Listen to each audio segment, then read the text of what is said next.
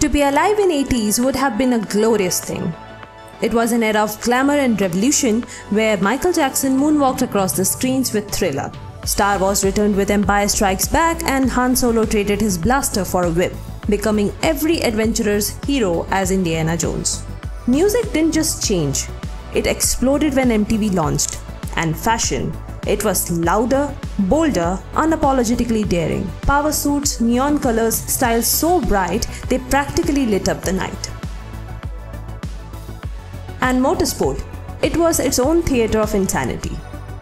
Fearless drivers raced Group B rally cars on bumpy tracks of Finland and twisted roads of Monte Carlo, showing the world new ways to chase danger and glory. And on the Grand Prix circuits of the world, Formula One was setting itself on the pinnacle of motorsport. It was attracting celebrities and becoming a playground for the rich and famous. And just like that, F1 had its own little Hollywood. Cars were not only getting faster but were glued to the ground like never before. Teams got smarter, pouring in money to innovate wilder machines, all to chase those precious tenths of a second that could decide championship. But it had never been this way. Just a decade ago in 70s, the car used to be tall and boxy with spoilers. They looked fast, but they did not cling to the tracks like the modern machines of today. Drivers fought with cars as much as they fought with each other. The air did not help, it just got in the way. One innovation, just one. That's all it took to change the Formula One forever. Someone discovered how to make the very ground beneath the car a tool and the motorsport transformed overnight. It was one ambitious team, driven by a single obsession the hunger to create engineering masterpieces. Whenever they rolled into the paddock, other teams knew that the game was about to change, and they better catch up or be left behind in the history. They were Lotus. Lotus had a habit of looking at problems differently. Where others added more power and brute force, they found brilliance in simplicity, in daring ideas that suggest what a race car could be. In the 80s, they brought the Type 88 to life with such extraordinary engineering that led to its untimely demise. Let's go back to the time when it all started. It was 1977 when Colin Chapman and his team unveiled the Type 78 the first F1 car to really use ground effect concept. They shaped the bottom of the car like an upside down wing and added side skirts to trap the air underneath. This pulled the car down onto the track and gave it more grip. The idea was new and not everything worked perfectly, but within a year they improved it. And with Type 79, they dominated the 1978 championship, which led to rival teams feeling like they were living in the Stone Age.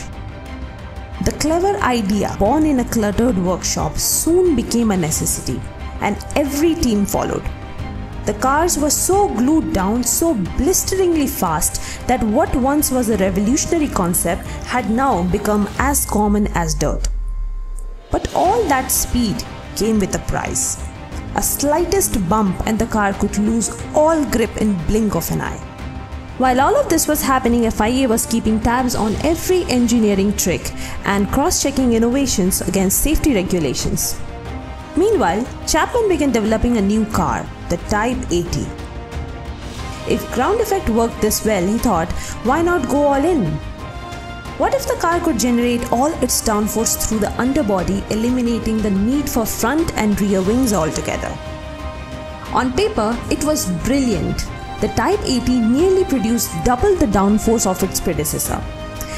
But on track, it was a disaster. At high speeds, the car would bottom out and experience a bouncing effect. They did not know what to call this phenomenon back then, so they simply said the car was unpredictable and dangerous.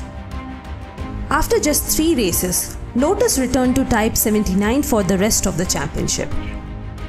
Chapman didn't stop. He kept chasing the perfect machine. While the Type 81 was rolled out for a show in 1980, it was more of a placeholder. Behind closed doors, his team was still developing ground effect and secretly working on a prototype, the Type 86. It was never meant to race, rather created to test a new idea, separating chassis from downforce. But the FIA had seen where this was going. It had become a cat and mouse chase, Lotus pushing boundaries and the FIA tightening the rule book in response. Under the banner of safety, they struck back. To protect the drivers and also to keep the championships more competitive, they imposed stricter regulations. Any movable aerodynamic devices, including sliding skirts, were banned from 1981 and a minimum ride height of 6 cm was introduced. To keep airflow stable, team resorted to softer suspensions and more aggressive tunnels to maintain ground effect. The result? Every car was now low and unstable. Ironically, in trying to tame the downforce of the ground effect, FIA did not just make the cars slow, they accidentally created a brand new problem. The cars started to bounce at high speed, making it difficult to drive. The same behavior which was seen in Lotus Type 80 was suddenly visible across the grid. Back then, we did not have a name for it, but today, we call it porpoising. It was a nightmare born in the early 80s, one they thought it had left behind, until four decades later when F1 brought ground effect back in 2022 and the same ghost returned to haunt them all over again. And Lotus, in trying to solve it, might have created a path the sport was too afraid to follow. It was the final gamble of a genius who never played safe. Lotus did not stop until they found a way through the regulations. The rules stated that any part of the car influencing its aerodynamics could not move in relation to the vehicle and had to be rigidly secured to the entire sprung part of the car. Basically, the main body must be held up by the suspension. But entirely sprung part of the car was a grey area, left hanging without a clear definition. And it was a eureka moment. The Type 86 was a success which led to the creation of Type 88. Tiptoeing right through the grey areas of the rulebook, Chapman and his team introduced twin chassis technology and created a masterpiece to overcome porpoising and butcher the championships. The concept was simple yet brilliant. It featured an inner structure that cradled the driver, sprung softly to smooth out bumps and keep the ride calm. Wrapped around it was a stiffer outer chassis pulling the car down with monstrous ground effect. It was like wearing cushioned slippers inside a heavy pair of boots. Lotus 88 was not only the first car with this technology but among the first few cars to have most of the parts built with carbon fiber. It passed technical scrutiny in Long Beach for the 1981 championship and by the rule book, it was legal. But success always draws fear. The car was undoubtedly an engineering marvel, but the moment it rolled into the paddock, rival teams were scared. What if this worked?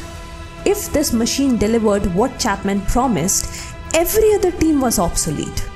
Frank Williams made his objection to the car clear, but he also hinted at the political opposition from some of the team who did not want to copy another of Chapman's breakthroughs.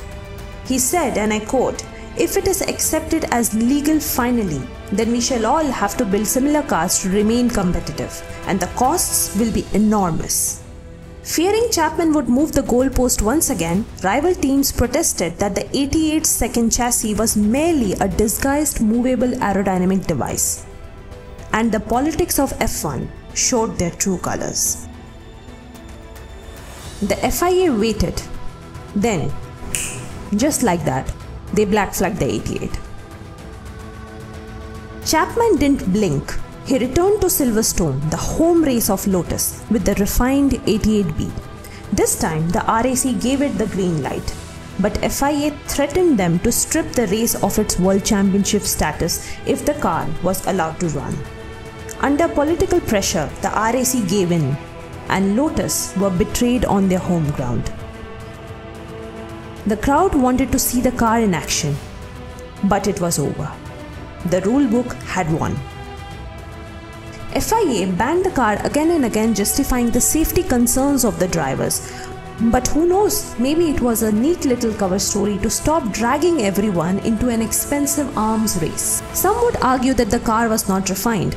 Possibly, yes, some technical experts have shown concerns with the structural integrity and the unique spring mechanism.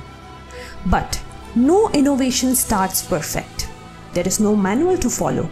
You build, you test, you refine. Though its true potential was never tested, the 88 was groundbreaking and transformative. Given time, these initial anxieties could have been addressed, perhaps even fix the porpoising issue that still haunts F1 today. Chapman's relentless push through lawsuits and protests could not bring his dream any closer to reality. The sport moved on because it always does. But for the 88, it was killed hours before the race. It wasn't banned purely because it was unsafe.